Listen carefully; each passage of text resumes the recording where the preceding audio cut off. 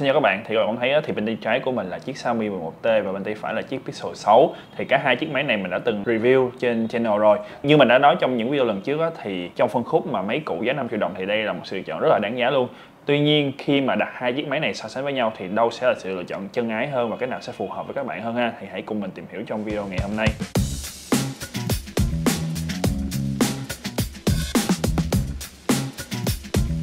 Đến với cái yếu tố đầu tiên đó chính là về cái cảm quan về cái ngoại hình cũng như là cái thao tác sử dụng hàng ngày á, thì mình đánh giá là mỗi con sẽ đi theo một hướng. Nếu như các bạn chọn Xiaomi 1T này thì các bạn sẽ có một chiếc máy nhìn khá là nam tính. Chúng ta có một cái mặt lên kính có phụ xước phay kim loại ở đây nhìn rất là đẹp luôn. Trong khi đó nếu như các bạn mà sử dụng chiếc Pixel 6 này nè đó chúng ta có một chiếc máy nhìn nó gọn gàng hơn nó nhỏ hơn. Đó là những điểm khác biệt. Còn về chất lượng hoàn thiện khả năng build của hai chiếc máy này thì mình đánh giá đều rất là cao trong phân khúc giá 5 triệu đồng. Đến với cái yếu tố tiếp theo mà các bạn có thể dễ dàng nhận ra cái sự khác biệt của hai chiếc máy này đó chính là về cái khả năng hiển thị. Nếu như các bạn mà lựa chọn chiếc Xiaomi 11T này các bạn sẽ có một cái màn hình lớn hơn, cụ thể là 6,67 inch và trong khi đó chiếc Pixel 6 này thì nó sẽ nhỏ hơn là 6,4 inch mà thôi. Chính vì thế nếu như các bạn nào mà vẫn muốn xài Pixel nhưng mà muốn có màn hình bự thì các bạn nên chọn phiên bản Pixel 6 Pro. Tất nhiên là cái mức giá nó sẽ lệch hơn một chút rồi. Rồi về cái chất lượng hiển thị thì mình đánh giá cả hai chiếc máy này đều có khả năng hiển thị khá là tốt trong tầm giá 5 triệu đồng. Chúng ta đều có cùng độ phân giải là Full HD cộng tấm nền AMOLED. Tuy nhiên ở trên chiếc 11T này á, thì chúng ta sẽ có cái tần số quét cao lên tới 120 Hz trong khi đó trên chiếc Pixel 6 này thì chỉ dừng lại ở 90 Hz mà thôi. À, và ngoài ra thì cái tấm nền OLED ở trên chiếc 11T này mình đánh giá là Xiaomi có một cái tinh chỉnh cho màu sắc này nó rực mắt hơn cái độ bảo hòa màu sắc nó cao hơn và nó làm cho mình có cảm giác là khi mà xem phim hay là chơi game giải trí trên cái màn hình này nhìn nó thích hơn. Trong khi đó thì trên chiếc Pixel 6 này á, thì màu nó sẽ trung tính hơn một chút và và ngoài ra thì trên chiếc Pixel 6 nó này có một cái điểm cộng đó là cái độ sáng màn hình của nó cao hơn so với chiếc 11T này.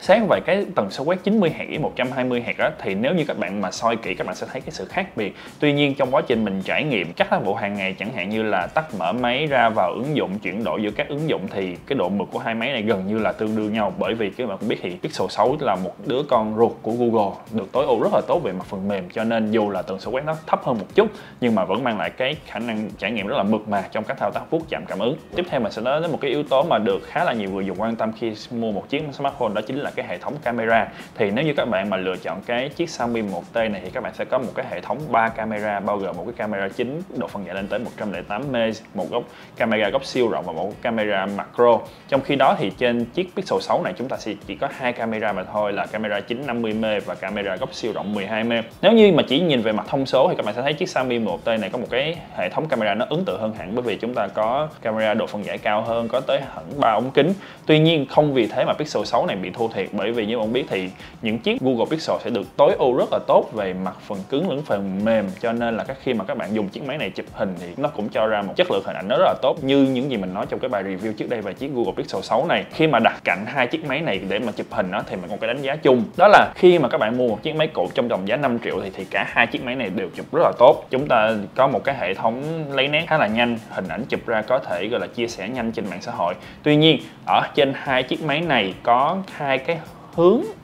tool màu khác nhau về mặt hình ảnh. Chính vì thế sẽ phù hợp với hai đối tượng người dùng khác nhau. Mình sẽ nói trước về chiếc Xiaomi 11T này. Nếu như các bạn nào mà có một cái thói quen đó là các bạn chụp hình xong các bạn mà lười chỉnh sửa hình ảnh, các bạn muốn up ảnh lên mạng xã hội giống như là mì ăn liền vậy đó, thì chiếc Xiaomi 11T này sẽ dành cho các bạn. Bởi vì phần mềm của chiếc Xiaomi 11T này có được trang bị cái tính năng chụp ảnh AI AI ở đây có nghĩa là máy sẽ tự động tun màu cho những cái bức hình của các bạn. Chẳng hạn như mình dùng chiếc máy này để mình chụp đường phố, có cây cảnh rồi có bầu trời. Thì khi mà hình ảnh cho ra thì cái màu lá sẽ được làm đậm hơn, phần bầu trời sẽ làm xanh thẳm hơn, nhìn nó khá là đẹp mắt. Và các bạn có thể dùng, có thể chia sẻ ngay trên mạng xã hội luôn. Trong khi đó, chiếc Pro 6 này có khả năng chụp hình gần với thực tế hơn. Những cái hình ảnh mà các bạn chụp ra thì ở ngoài như thế nào thì bên trong hình nó sẽ tương tự như vậy. Chẳng hạn như mình dùng chiếc máy này để mình chụp ngoài trời đi uh, bụi khá là nhiều hay là trời mờ mà sắp mưa thì chiếc máy này ra màu y chang như vậy luôn. Chính vì thế up lên mạng xã hội mà không chỉnh sửa mình thấy nó hơi xấu cho nên khi mà các bạn mà mua chiếc Pixel 6 này về để chụp hình á thì mình nghĩ là các bạn nên hậu kỳ nhiều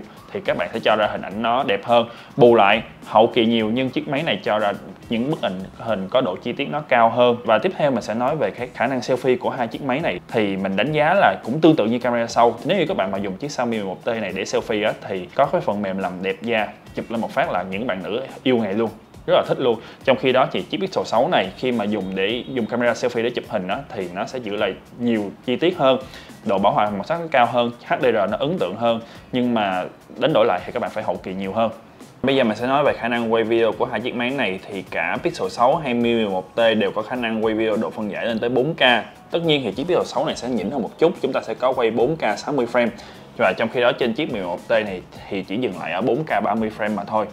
đó thì đây có một sự thua thiệt so với chiếc Pixel 6 và mình đã thử dùng hai chiếc máy này để quay chung một đoạn video ở cái độ phân giải 4K 30 frame đó. và show cho các bạn coi ở đây thì các bạn cũng dễ dàng nhận ra đó đó chính là chiếc Pixel 6 này cho một cái video nó tốt hơn à, chống rung nó ok hơn và giống như là thu lại tiếng nó tốt hơn so với chiếc Mi 11T chính vì vậy mà các bạn nào mà có nhu cầu mà quay video nhiều thì chắc chắn Pixel 6 sẽ là một sự lựa chọn dành cho các bạn.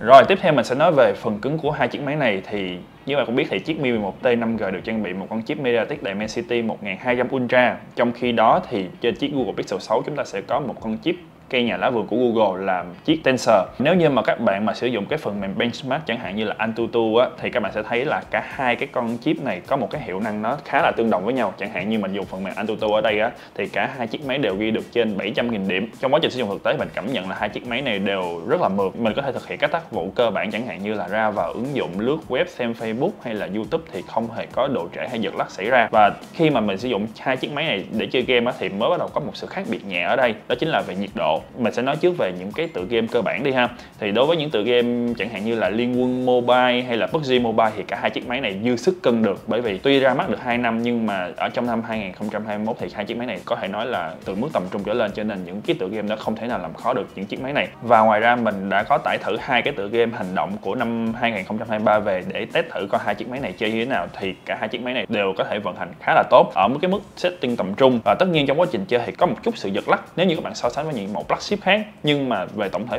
thì vẫn rất là mượt mà. Tuy nhiên trên chiếc Xiaomi 11T này á, thì cảm nhận được đó là chip Dimensity 1200 Ultra được tối ưu tốt hơn. Cho nên trong suốt quá trình chơi á, thì nhiệt độ nó không tăng lên quá là nhiều. Mình có thể cầm nắm thoải mái và chơi. Trong khi đó thì đối với chiếc Google Pixel 6 này thì mình chơi game khoảng chừng 15 tới 20 phút thôi là mình cảm thấy máy nó đã nóng lên rồi và hơi khó chịu đối với lòng bàn tay của mình. Và còn một điểm nữa chiếc Pixel 6 này nó hơi bị thua thiệt chút so với chiếc 11T này trong cái việc trải nghiệm chơi game đó chính là cái màn hình của nó nhỏ hơn. Như nãy mình có nói đó đối với những tựa game bắn súng hay là những tựa game MOBA thì một màn hình lớn này thì nó sẽ giúp cho các bạn thao tác tốt hơn. Khi mà nói về việc chơi game thì một cái yếu tố bị tác động rất là nhiều đó chính là về pin. Thì sẵn đây mình sẽ nói luôn về cái thời lượng sử dụng pin của hai chiếc máy này. Thì trên chiếc 11T này được trang bị viên pin lớn hơn 5000 mAh trong khi đó trên chiếc Pixel 6 chỉ là 4614 mAh mà thôi. Nó thấp hơn. Chính vì vậy đối với chiếc Xiaomi 11T này á khi khi mình sử dụng với một cái tác vụ tương đối là nặng, thì mình có thể on screen được từ 6 cho tới 7 tiếng đồng hồ, ở cái mức độ sáng màn hình là 70% trong khi đó thì đối với chiếc Pixel 6 này á, thì con số nó thấp hơn khá là nhiều. Mình chỉ có thể trụ được từ 4 cho đến 5 tiếng mà thôi. Và ngoài ra chiếc Xiaomi 11T này còn được trang bị một cái công suất sạc nhanh lên tới 67W